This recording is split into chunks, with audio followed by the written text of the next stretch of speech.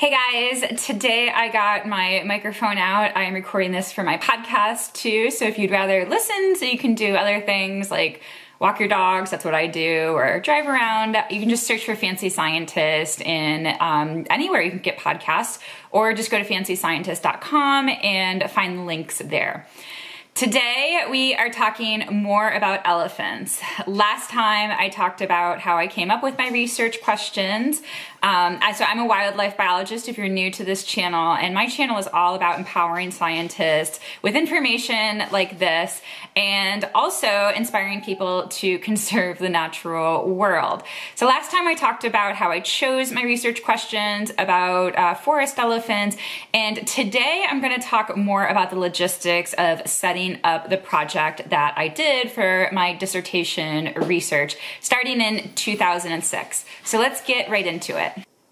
Okay, so I had my research questions. Just to briefly recap, I was going to be studying the social structure of African forest elephants.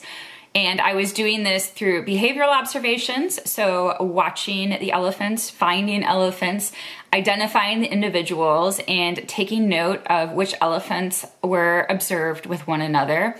And then I also had a genetic component to this to see if the individuals who were associating with one another were, were closely related to each other. And then also to see if the genetic patterns without any social observations. So um, basically seeing if close, if, if um, dung samples that were more related to each other than by chance. So the individuals, not that the dung's not related, but the individuals that the dung comes from, um, in closer geographic um, um, distance. So basically if elephants were uh, who were more related to each other or elephants who were more physically closer to each other if they, they were, were more related to each other. And we would predict that they would be based on what we know about african savanna elephants. So now i had my questions and as I mentioned previously, African forest elephants are extremely difficult to study because they are very hard to see. They live in the forest, and this forest uh, obscures your vision from seeing them. It's really hard to get close to them. So there's really only two sorts of places that you can work to study forest elephants in Central Africa. Um, so the first one I mentioned are bais, and these are large clearings in the forest. They're natural clearings. They have mineral deposits in them. They have rich, they have soil that contains a lot of salt, especially. So the animals come, they ingest the soil. There's often water there too and they um, yeah ingest the the minerals from the soil and they they therefore maintain this openness of the bai because there's all these trails leading into the bai and um, just the animals all trampling over the same area over and over again prevents vegetation from growing there. So elephants use these these bais, um, a lot of ungulates. You'll see gorillas there. It's it's not just for elephants. These bais are incredibly useful or incredibly important to many species within Central Africa.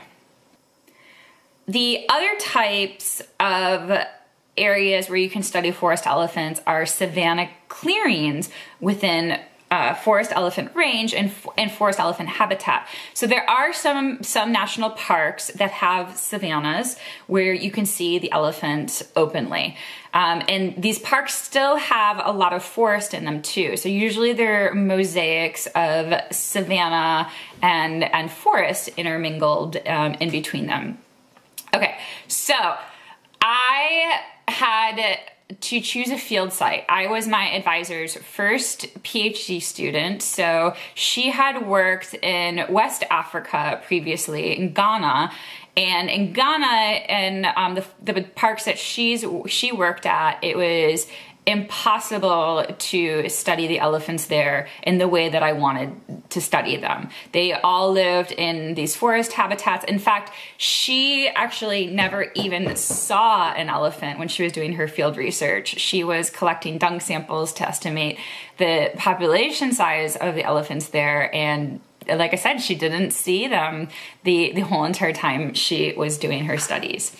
So I needed a park that was really different, and my advisor, um, she had some connections, but but she didn't have an existing uh, long-term park that we had been working in. So I just we had to start from the ground up, and my advisor was very very helpful in in this situation.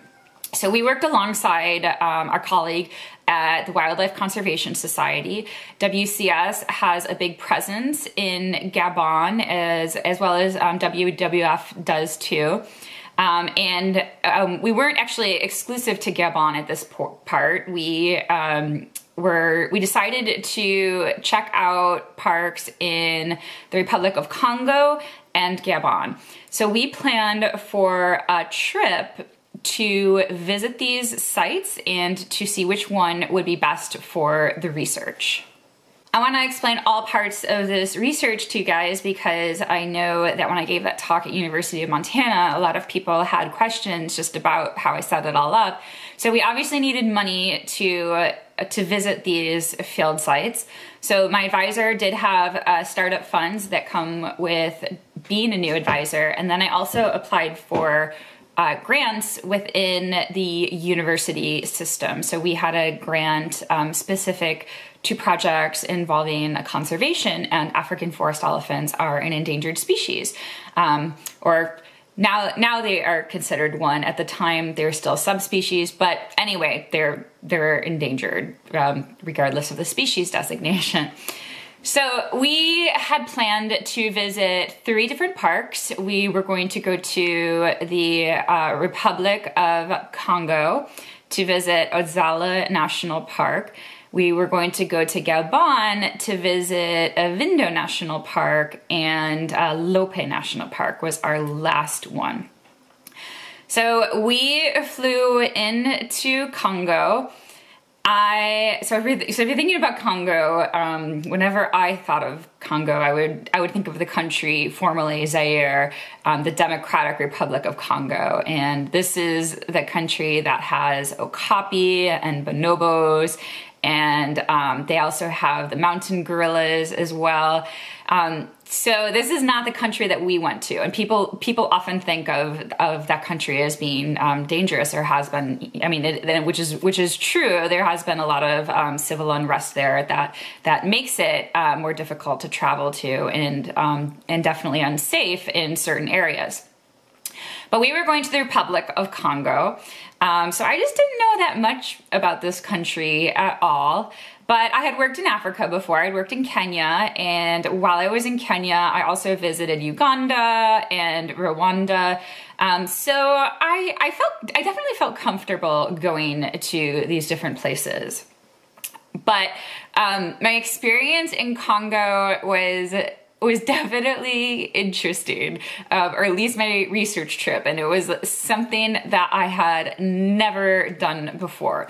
So we actually tied this trip in with another elephant researcher. So she was also starting her PhD at about actually the same time as me.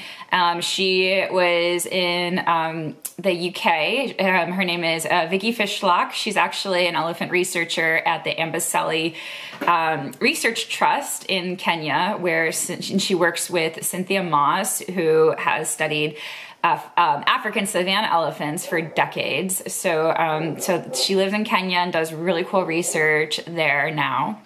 So she was actually starting her field work. In Europe, they tend to move a lot faster with their PhDs.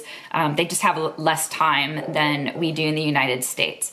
So we went with her to check out the park that she was working in, which was um, Odzala National Park in the northeastern section of the country.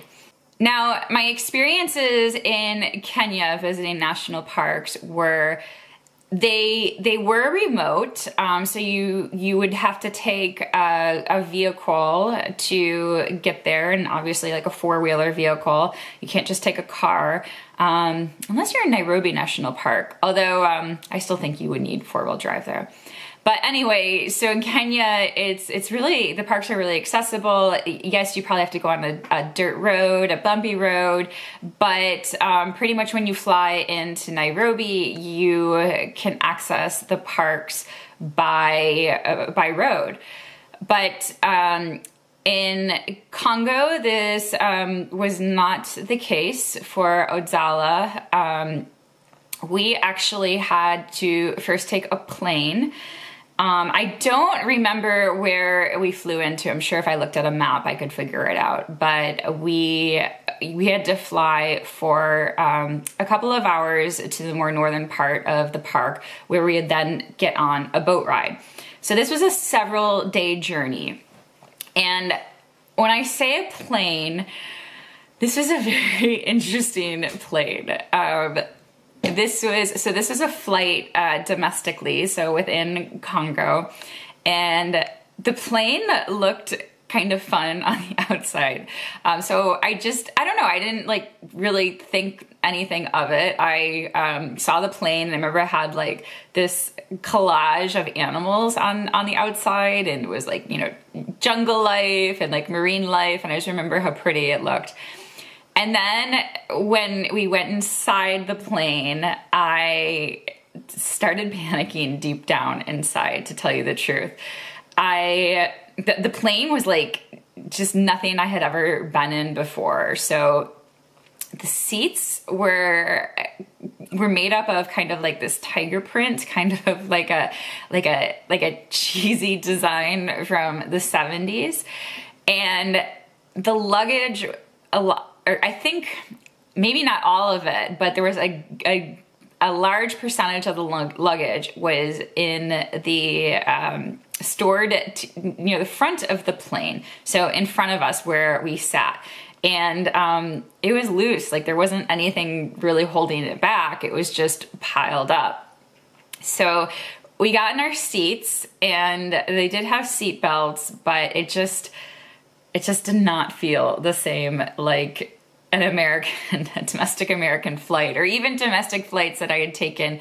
Um, actually, I, I, never took a domestic flight to Kenya. I guess I took an international flight um, to Rwanda. So, um, yeah, I just never experienced anything like that before. So I was nervous the whole entire time on the plane.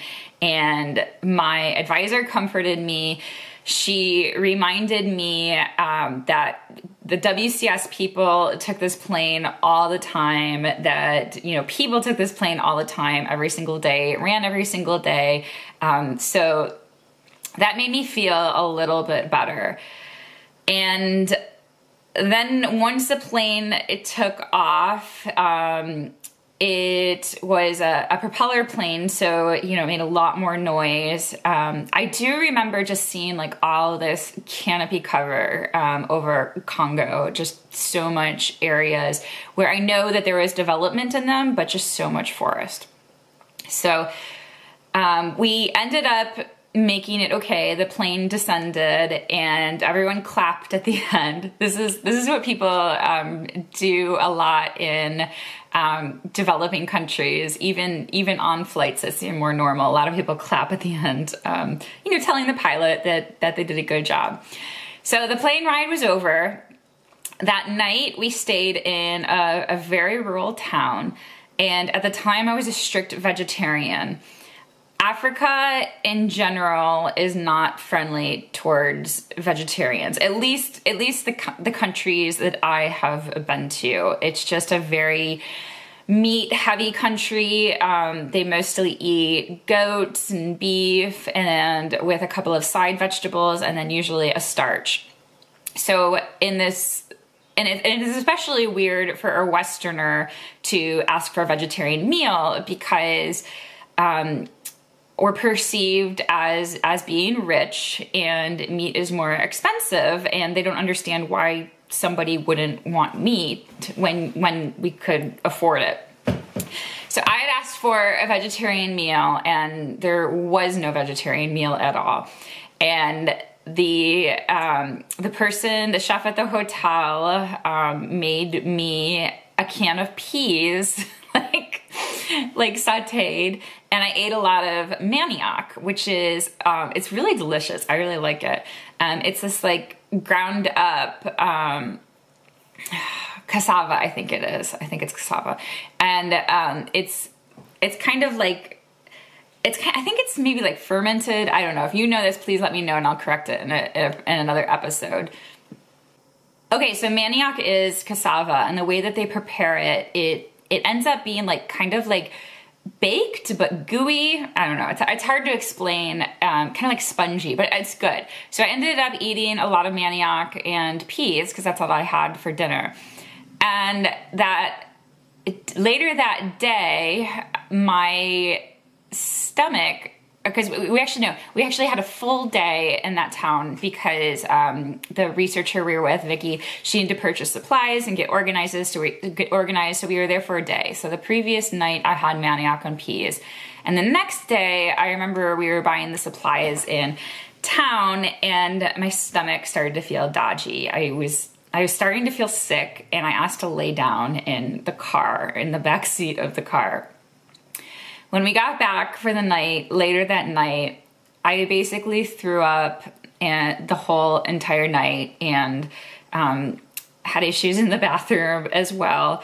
Um, and the hotel was it was um, it had it was it was very um, like open, so you could hear easily between the walls, and there was um, open spaces at the top of the hotel. Anyway, I was very sick and everyone could hear me vomiting throughout the night. Luckily, it just lasted throughout the night, and the next day I was fine and ready to go. So then we had a car ride that was several hours long, and um, this was super cool because for the most part we didn't see anything, but we did see a gorilla cross the road. Um, it was fast, but it was just so cool to to see that moment. And we were driving to um, the river so that we could then take two boat trips to get to Odzala National Park. Now, when you think about boat trips, you you know probably imagine using a motorized boat boat. Um, yeah, I mean that's what you imagine. Um, but this was um, very simple. It was basically a dug out. It was a, a gigantic tree trunk that was dug out, and there were chairs just sitting in it. So like you know just like lawn chairs that you buy for your deck. Um, so again, this seemed like sketchy. It seemed like, is this safe? And we would just, you know, people would just be mostly, mostly we would be following the current, um, but we would also be paddling as well, or not us, but the but the guides on the boat. And it was just really interesting to see like all of Vicky's field gear packed into the boat because she had, you know, really nice cameras and recorders to take notes. And she had all these action packers, which are these like really large trunks full of this material. And it was just like all sitting in this boat, which I was sure could easily over, over, overflow or fall over sometime during the trip. But Anyway, it didn't happen. And we had to do this twice. So there were two boat rides and they were each like six to eight hours long. Um, so this was also a really cool and honestly enjoyable experience. I one of my favorite rides at Disney World when I was younger was the Jungle Cruise. And if you've never been there, it's this it's a boat ride um, that takes you through um, areas of Africa and Asia, and you get to see animals along the way. Obviously, they're anim- or they're animatronic. Maybe that's not obvious. Um, so this made me think about that. And we did see animals. We didn't see any forest elephants, but we saw some forest buffalo um, in the water as as we um, took our boat ride, and that was super cool as well. Some points of the boat ride, the the water was so shallow that we had to get out and we had to walk the boat through the river um, so that we could make it uh, across so we could keep on our journey.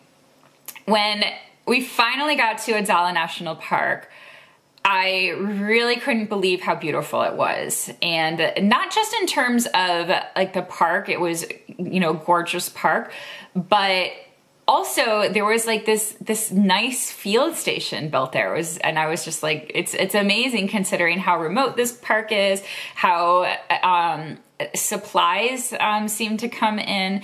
But there it was a it was a beautiful field station. Um, it looked pretty new. It actually was nicer than some of the field stations i'd been to in the united states when i worked at the bureau of land management so once I got there, I felt so much better and I felt so excited about this park. So the next step in Odzala was to look for areas where I could find elephants and get the dung from them. So we were really focused on bais. And we, the next day, we got up and went with guides to the largest bai at Odzala. And Odzala, um, there's like a lot of palm trees and um, some of the soil was also sandy. So we took this walk um, I don't know, maybe several kilometers um, through the hot sun, definitely some savanna grasses.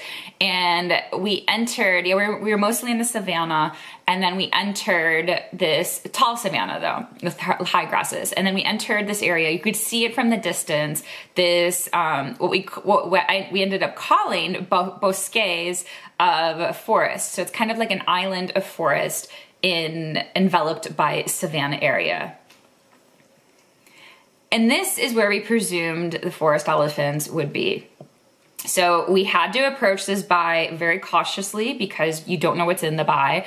And elephants in this area are actually very dangerous. Um, so my experiences working with elephants in Kenya were was mostly that they were very um, kind elephants towards researchers and tourists, and um, you would be driving along elephants would be attempting to cross the road. So you could just like literally park your vehicle and they would just go right by your car un- unfazed. Um, and they just, yeah, were very friendly. They didn't charge you. They didn't charge vehicles. There are exceptions. Males who are in musth would, will charge vehicles. This is an accelerated state of um, high testosterone where um, when they start to um, breed. So it's kind of like um, rut in, in deer. But in Central Africa, a lot of these elephants are really heavily poached. They're really skittish. They run away. Um, so you have to be really careful entering areas where you can't see because they can easily charge you.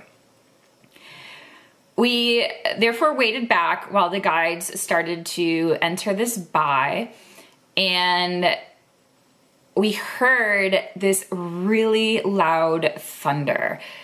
And like initially it shocked us, and then you could hear just like, it's just like this thunderous sound.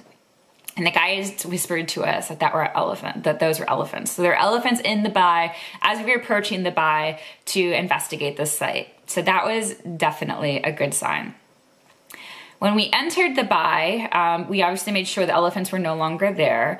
Um, we did see evidence of um, definitely lots of old dung. It was a gigantic bai. There had actually been an old platform there. Um, we needed so we needed a platform as well if we were working in a bai because I needed a high area from where I could see the elephants, observe them safely, and um, try to notice where the dung fell so I can so I could attribute individual dung to individual elephants.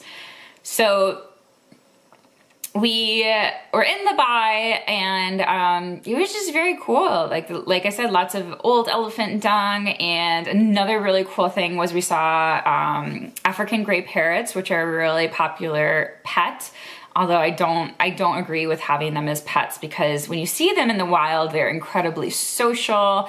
Um, parrots are incredibly smart animals, so I think it's really um, honestly quite cruel to keep them in cages for the rest of their lives. Um, so it was just it was just amazing to see these birds fly wild in um, in this park. It was so great.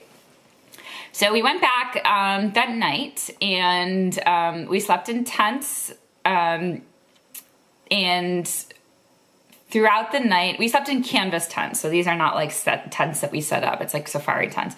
Um, and it was very nice and very comfortable. Definitely, we heard a lot of animal activity at night. Animals, I, we heard animals crashing in the river, splashing. I'm not sure what happened, but Anyway, um, it was a really fun stay. So we stayed there for a couple of days to get a sense of how many elephants we could likely see there. The field station was located in a savanna area and we only saw ele elephants once. So we did see um, a forest elephant. Um, it was probably a male because it didn't have any young with it and it was um, eating around the savanna edges. So that again was another promising sign. But the next day, um, we left and we did our boat journey again. We took the two long boat rides back. Again, this was super fun for me and now I felt a whole lot more comfortable doing it. And then I had my plane ride again. This plane ride going back felt a little bit better. There were no Tiger Sea airplane seats this time, Tiger print airplane seats. Um, it, the plane looked more um, traditional, but there was no air conditioning and um, we just had to wait in the plane to, for everyone to come in. And I remember just sitting there dripping and dripping in sweat. During my experiences doing field work um, and traveling to Africa and being in Kenya, I learned to be incredibly patient and to deal with um, just uncomfortable things like that. So we were very hot. I remember we were we had papers and we were trying to cool ourselves off. But once the plane took off, it was fine. Um, and I did feel more comfortable on this flight because of my past flight. And just like I said, the plane looked a lot better. People still clapped at the end, and um, that was it. I didn't have to take any more domestic flights within Congo. So that was my first field site that I visited, and I was happy that we had some promising signs with forest elephants. But the trip out there was not not um, the best for us, was not really what we wanted, just because it took such a long time to get out there. So we were really hoping that the other field sites would be better. For the next two field sites, we had to take a flight to Gabon. Um, so we flew into Libreville, the capital of the city, and then again, we would have to have several long journeys ahead of us. The first one we were going to, the first park we went to was Ivindo National Park to visit Langoué Bai. This is um, a more famous bai. It's kind of similar to Dzanga bai. It's, it's very large and open. So we took a train ride from Libreville to, I don't remember which town, um, to get to Ivindo. We also had to take another car ride. And then um, Ivindo was tucked away, or the field station within Ivindo, um, where the bai was, was tucked away within the forest. So we had to take a small hike there. It wasn't too bad. Um, the field assistants wanted to carry our gear for us, um, but I did insist on taking my backpack. I wanted, I wanted to um, to prove myself. I was a wildlife biologist now. Again, when we went to see the field station in Ivindo, I was just shocked at how cool the field station was and how nice it was. So we were here in the forest and there had been this like, there was like this rock um, this really flat rock and they build the field station on top of that. And this is also a tourist um, place as well. So not only researchers came here, but tourists um, stayed in um, the, the like cabins there to visit Langoué Bai. The striking thing about Langoué Bai was that in Congo, we had to move very slowly through the forest, or at least we didn't even actually really enter the forest. We mostly went in the savannah going up to a forest bosque. But here in, in Ivindo National Park, we actually moved pretty swiftly. Um, and it turns out that the elephants just aren't that aggressive there. Um, and people just didn't have to worry about them that much, which um, was very different from the elephants I experienced in the other parks. So the next day, we woke up and we were going to go to the Bai. And the Bai was a short walk from the field station. When we got to the Bai, I was blown away and so happy, so excited. It was so cool. It was so magnificent. So Langoué Bai, there had been some elephant research there before, but especially a lot of gorilla research there had, there was a very formal platform built there with with several decks. I think at least two decks, and researchers would go there um, nearly every day and watch the gorillas. So they had ways of identifying them from, especially from their nose patterns. And there had been, like I said, some preliminary elephant research there too, where people were starting to identify the elephants. So we stayed on this platform um, all day. I stayed there. I think my advisor went back um, for part of the day, but I stayed there all day. And just to get a sense of like how frequently the elephants came and how many there would be, how easy it would be to get dung from them. So within half an hour, an hour, we saw our first elephant group. And it's just so amazing because there's this huge clear area surrounded by forest. Um, I'm really bad at distances, but larger, maybe two football fields open. And you could just see the elephants come from a distance and then come to the center of the Bai and just start ingesting the soils, drinking the water. Um, and it was just such a peaceful, beautiful thing to watch. I stayed there the whole day and we saw other elephant groups. Um, at one point we saw a gorilla, uh, which was super cool to watch. Um, I don't remember if it was a him or her, but um, actually it was a him because it was a silverback.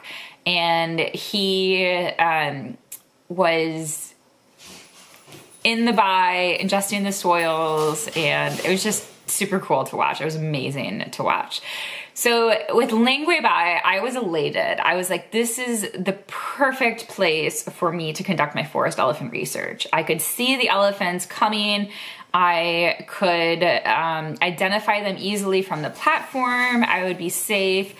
And I also thought that I would be able to watch the elephants defecate and then be able to take notes and, and assign which dung came from which individual. So we stayed at um, Ivindo National Park for a couple of days, and I just felt so good about this park. I was really confident that this was going to be my field site. Then the last site that we visited was Lope National Park. Lope National Park is a fairly large park, but really people only see the northeastern part of the park. And this park was also attractive to tourists. Um, so in Lope Town, there is a hotel where tourists stay, mostly um, European tourists, especially French, because um, Gabon and Congo were former French colonies. So another um, added challenge to my field work is that, uh, or to my field sites was that everyone spoke French. And I took Spanish in high school, so it wasn't that easy for me to get used to. I'm also horrible at languages. They don't come to me naturally. Um, so that was another challenge. But anyway, we went to Lope, um, and we did have um, we did stop at the hotel one day, um, and it was it was funny. To, it felt so funny to be there in field clothes, and especially after our experiences in Odzala National Park, which were so remote. And they had a pool in Lope, and um, this gorgeous view along the river. But this is not where the field station was. Actually, the field station was in a better place. So um, we went to the field station, which is, it's not that far away from Lope town, but it takes a while. It takes at least a good solid half an hour because the roads are so bad. And uh, we went to the field station. This field station honestly was the nicest out of all of them i think. Um, it was it was made up of a central area and then there were different cabins where researchers stayed. There were cabins for um, offices as well that even had air conditioning. Um, so this was a luxury but honestly it was really to protect the equipment the computer equipment. And um, also they had an herbarium there so it was to protect the samples. But again it was a nice luxury to have um, and there was a permanent director there, so I would feel very safe. I would feel, um, I also had someone guiding me in my research um, because she had her PhD as well. Forest elephant research had been done there before, some preliminary stuff. Um, there have been two researchers there photographing the elephants. Um, and so we drove around um, Lope to get a sense of the park. I don't think we spent much time at Lope. We did we did see forest elephants. Um, the the problem with Lope is that it didn't really have a lot of good bais. Um, and this is we were really set at working at a bai. So, um, talking to the director, we knew that there were um, several small ones that we could choose from, but um, I didn't have a sense of what they looked like. We didn't have a lot of time uh, looking at, at these bais, or we didn't actually take any time to look at the bais. Um, we just mostly explored the park. Another really cool thing we did in Lope was that the WCS was attempting to habituate mandrills. Um, so this is one of the few areas of the world where you can see mandrills and um, they had tracking devices on the mandrills. So I went out with a team of researchers to try to find them and then um, obviously see them. This again was such a cool experience. Um, mandrills gather in groups as large as thousands of individuals. Um, and when we went, I remember having to duck under branches and, um, you know, because you have to follow the mandrills, so they don't necessarily always go on easy trails. Um, so I remember just having to be fast and, and move through the forest and, and us bushwhacking through the forest. We mostly heard them, but I did see some flashes of mandrill, but they were very hard to see. Um, but I was still happy that I saw them. So we left Lope National Park. We went back to the United States, and it was really clear to me that uh, Ivindo National Park was where we wanted to work. It just seemed like the perfect park for me to work at, and um, that was just such an ideal setup. I was so excited about my research, and I was ready to begin. So back in the United States though, before I began my field work, I had to prepare. I had to get funding to support the costs of me staying at the field station. And in these countries, Gabon is actually a really expensive country to work in. They import a lot of stuff. So the field station costs are actually not that different from hotel costs here in the United States. I had to get permits so that I could conduct my research in Ivindo National Park and um, I just had to better develop my plan with um, my advisor and just make sure all these things were set and then also book my trip and actually start my field work. So that's where I'm gonna end off today. Um, but make sure you subscribe so you get the next episode because I'm gonna talk about those things that I did to get my field work started, how nothing went to plan. or almost nothing went to plan. All a lot of things got changed um, around and how I dealt with it and how I adjusted. Um, one of the major rules in science is that things will always go wrong. So you've got to have some backup plans. Um, so make sure you subscribe to not miss those episodes. Um, and I have a lot more stories from the field, a lot of stories about elephants. We're really just beginning my field journey So thank you guys so much for listening. Um, please um, comment if you have any questions. You can reach out to me on social media. I am the fancy scientist everywhere. Um, I love to hear back from you guys about any questions you have or topics that you want to talk about, want me to talk about. Thanks, guys. Bye.